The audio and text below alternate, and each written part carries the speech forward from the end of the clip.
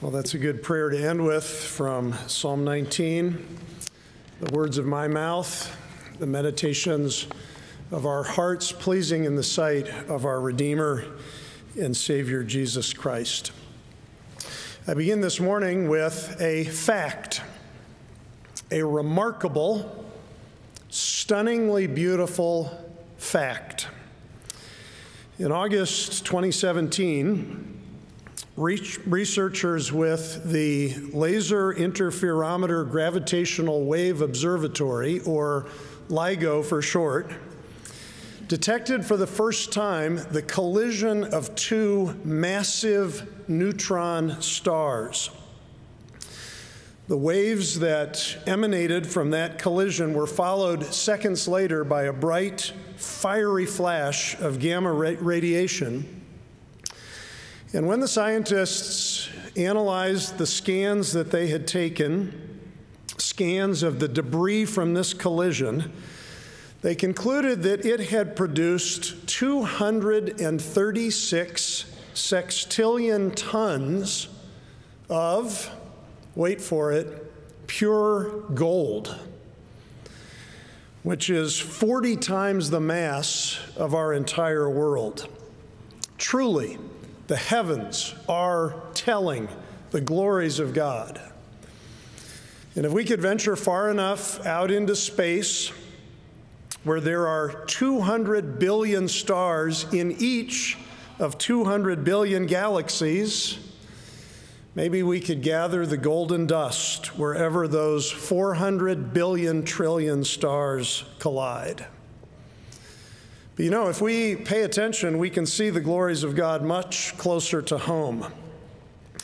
In his personal narrative, the theologian Jonathan Edwards describes walking in the pastures of his boyhood home in rural Connecticut and says, As I was walking there, looking up at the sky and the clouds, there came into my mind a sweet sense of the glorious majesty and grace of God that I know not how to express. And from that time forward, Edwards, who actually did a pretty good job expressing it, tells us that my sense of divine things gradually increased and became more and more lively and had more of that inward sweetness. The, the appearance of everything was altered. There seemed to be, as it were, a calm, sweet cast of divine glory in almost everything. God's excellency, his, his wisdom, purity, and love seem to appear in everything in the sun, moon, and stars, in the clouds and blue sky, in the grass, flowers, trees, in the water, and all nature. For anyone who has the eyes to see it, this world is filled with the glory of God. And what I want to give you this morning is the eyes to see so that your walk across campus today and every day will be everything before God that it should be. The beauty of the earth, of the God who made it, is the main first theme of the psalm that we have had sung and read for us, Psalm 19. Creation was made to give testimony to its creator. Or maybe we should say this that through creation, the Creator has given us a testimony of Himself. King David begins by describing several characteristics of creation's testimony. It is articulate. That is to say, it speaks to us clearly. Just notice the vocabulary the psalmist uses to describe what creation says, both the nouns and the verbs. The, the heavens declare the glory of God. The, the sky above proclaims his handiwork. Day to day pours out speech. There is no speech, nor are there words whose voice is not heard. The voice goes out through all the earth, and their words to the end of the world. Declare, proclaim, reveal. Those are the verbs. The nouns are speech, words, voice. Each term describing something clearly communicated and plainly understood. Whatever this creation is telling us, it is something we can understand. When John Calvin went out to Lake Geneva on dark nights to gaze upon the stars, as he often did, he saw in them, he said, the alphabet of theology.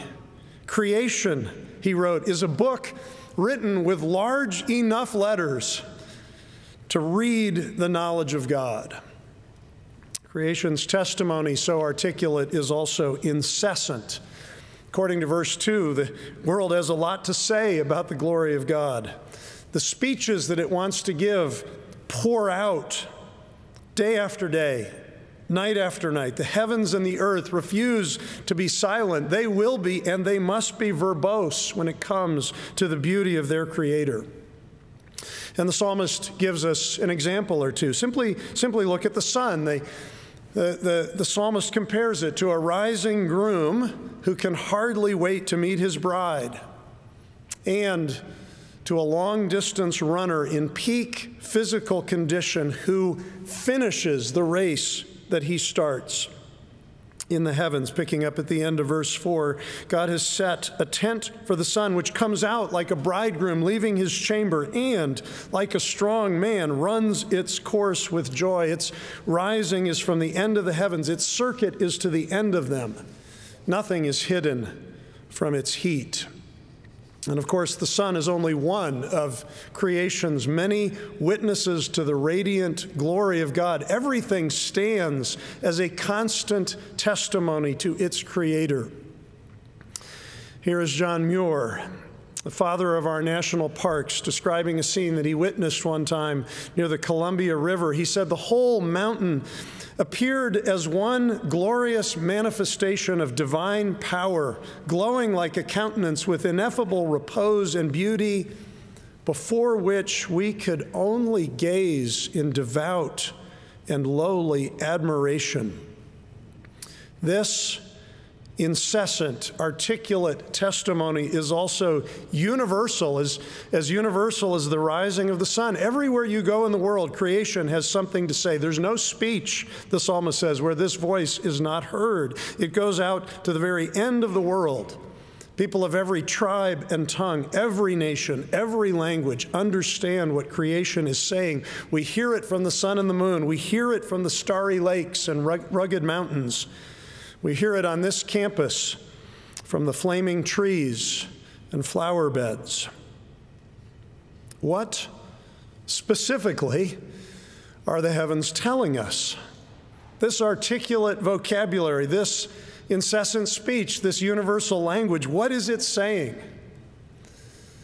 One good place to begin to answer that question is the first chapter of Romans, where Paul tells us that God has plainly shown us what we can know about Him. All over the world, His invisible attributes, eternal power, divine nature, these have all been clearly perceived since the creation of the world in the things that have been made. Apart from omnipotence, perhaps, the apostle declines to list more specifically the divine attributes revealed through creation. But theologians have taken their cue from this verse and have proceeded to name many character traits that God has revealed his infinite knowledge, his sustaining providence, his matchless wisdom, his intrinsic goodness, and, and so on. When the Puritan Thomas Taylor considered the world's abundant variety of plants and animals, he said, Here be millions of ministers and apostles sent by God into the world to preach to us the inexhaustible treasures of our Lord's goodness, wisdom, and power.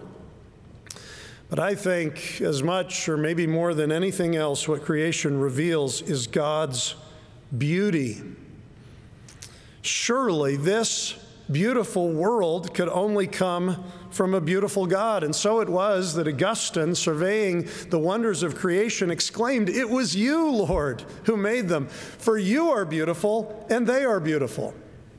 And I could give so many examples from the church's great theologians who reserved some of their most beautiful words for this subject. They were like Haydn, who wanted to give the very best of his creative energies to the subject of creation.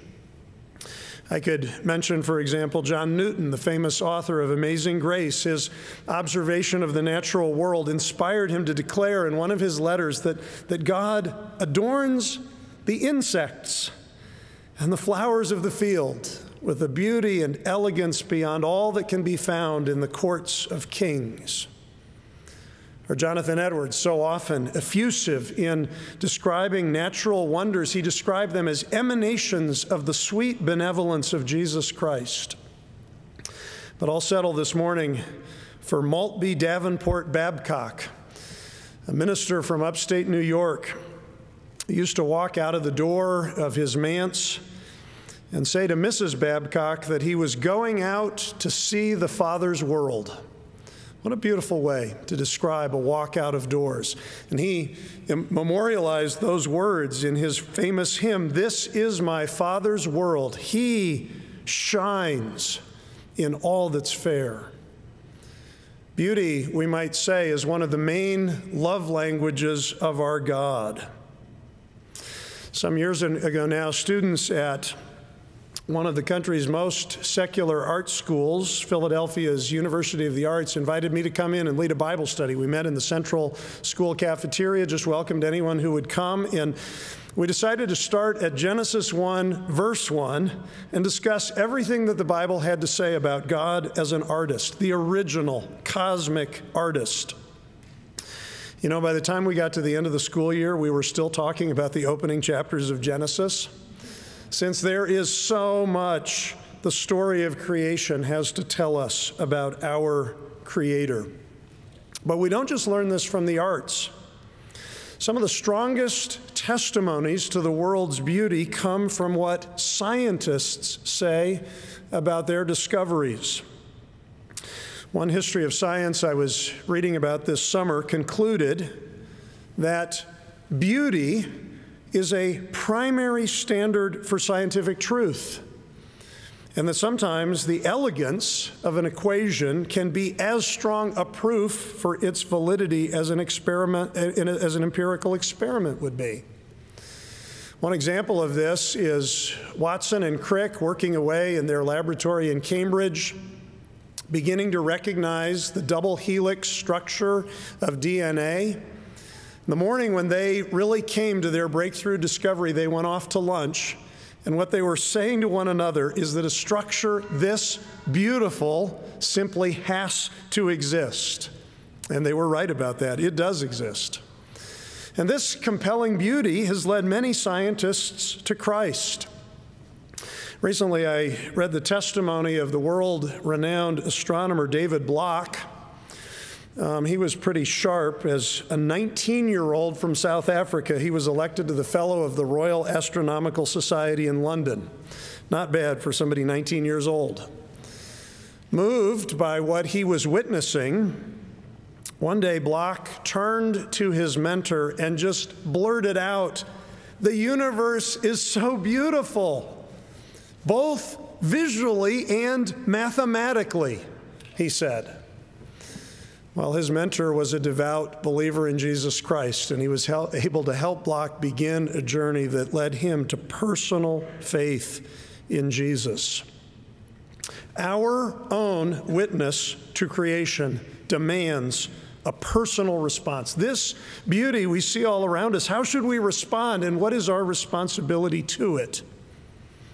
First, I believe attention. Pay attention to creation.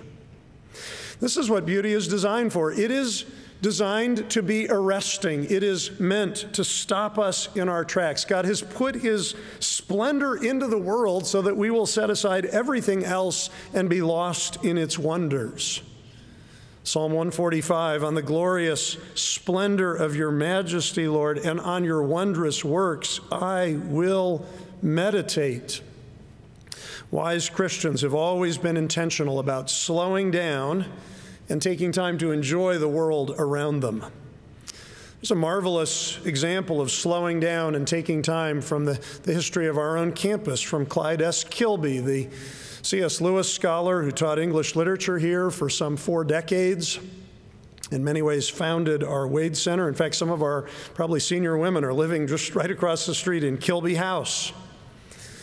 Dr. Kilby made a personal series of resolutions, daily principles that he wanted to live by. And here was the first one At least once every day, I shall look steadily up into the sky and remember that I, a consciousness with a conscience, am on a planet traveling in space with wonderfully mysterious things above me and about me.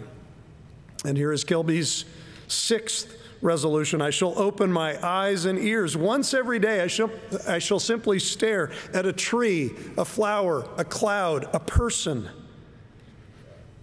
And I will simply be glad that they are. I tell you, that's a man who knew how to walk across campus and even if we're not all called to be scientists, all of us can do what Dr. Kilby did and attend to the daily splendors of creation, which will not only increase our enjoyment of everyday life, but will also lead us to praise our Maker. And that's a second response we should give to creation's beauty, turning our attention into adoration, letting these pleasures be for God's praise. I believe that's what David is doing in Psalm 19. The king says, The heavens declare the glory of God. He's not simply describing something clinically, he's entering already into the celebration of it, eh, which I believe is what the Bible always does when it talks about the beauties of creation. God is to be honored, God is to be praised, God is to be worshiped for the worlds that he has made. Jonathan Edwards rightly said, God is glorified not only by his glories being seen, but also by its being rejoiced in. You know, sometimes atheists and other skeptics talk about all the difficult questions they need answered before they will consider belief in God. The problem of evil, that's a big one. You know, unbelievers have some challenges of their own that they need to face. And one of them is the problem of wonder. Everyone can see the beauty in this world, even when it is broken. But does the skeptic who sees the beauty have anyone to thank for it? Anyone to rejoice in? How frustrating it must be to receive this gift of beauty and yet be unable properly to acknowledge it. And that's one of our privileges as believers in Christ. We know who to worship, we know who to praise. I like what John Piper says about this. We don't just stand outside and analyze the natural world like a, a beam of sunlight. We let the beam fall upon the eyes of our heart so that we see the source of the beauty, the original beauty, God Himself. And Piper goes on to say that all of God's creation then becomes a beam to look along or a sound to hear along or a, a, fragrance to smell along, or a flavor to be tasted along, or a touch to be felt along. And all of our senses then become partners with the eyes of the heart to perceive the glory of God through the physical world. A notable example of looking along the beam to perceive God's glory comes from a letter by Abigail Adams the second First Lady of the United States. She was on a trip to Europe. Her ship was caught in heavy seas. The passengers, can't comment on the sailors, but the passengers were fearful. There was a calm that followed the storm. When Adams witnessed the stunning beauty of bioluminescent sea creatures surrounding the ship for miles in every direction. She looked out on, in wonder on this phosphorescent ocean shining in the night. And she found herself quietly murmuring these words from Psalm 104, words that she had known by heart. Great and marvelous are thy works, Lord God Almighty. In wisdom thou hast made them all. And then there is a third response we should have to the beauty of this natural world attention, adoration, and finally, protection. Because as believers, we have a duty of care to every beauty that God has placed under our dominion. And never, I believe, in the history of the world has creation care been a more urgent priority for the people of God than it is at this moment when human beings have such a massive influence on the natural world because of our numbers, because of our technology. And as a result of our actions and inactions, climates all over the world are changing. We, we see the consequences of our fallen condition and the accelerated scarcity of natural resources, the accumulation of climatic disasters. But we are also suffering this a tragic loss of beauty. The melting of glaciers, the bleaching of coral reefs, the destruction of rainforests, the silencing of songbirds. One contemporary theologian calls this spiraling loss what it is not only an ecological crisis, but also a failure of human beings to celebrate what God has made, which in, in turn diminishes our capacity to show forth the luster of the Holy Trinity. Such concern for creation is not strangely pagan, but deeply Christian, and it is nothing new. The best theologians have always regarded our God given dominion over creation as stewardship of loving care. From William Wilberforce, who was nearly as concerned about the mistreatment of animals in his day as he was about the abolition of slavery to Jonathan Edwards, who frankly regarded such animal abuse as a perversion of the purposes of God. Thoughtful Christians have long sought to protect the creatures God has given into our watchful care. And they have done that for many reasons, including theological reasons. Listen to Calvin's logic. If I seek to despoil the land, of what God has given it to sustain human beings, I am seeking as much as I can to do away with the goodness of God. Now, of course, it is true that God has promised to make a new heavens and a new earth. One day, creation itself, praise God, will be redeemed and restored by the risen Lord Jesus Christ. But in the meantime, this heaven and this earth, the ones that King David declared have been made to declare the glory of God. They are the only heavens and the only earth that we have in this meantime. And therefore, we are called to protection. Maybe we are not guardians of the galaxy, but at least protectors of planet Earth. And we carry out this calling partly in the hope that others will join us in paying attention to the world's beauty and in lifting their voices to praise the God who made them. Beauty, too, has a role to play in reaching the lost. Our heart's desire as we attend, as we adore, as we protect, is for creation to do what it was designed to do and lead people to know the beauty of our God and to come to know Jesus Christ as Creator and Redeemer. Let's do some of that adoring now. The choir is going to help us. Dante Ford is going to help us. Let's stand to sing How Great Thou Art.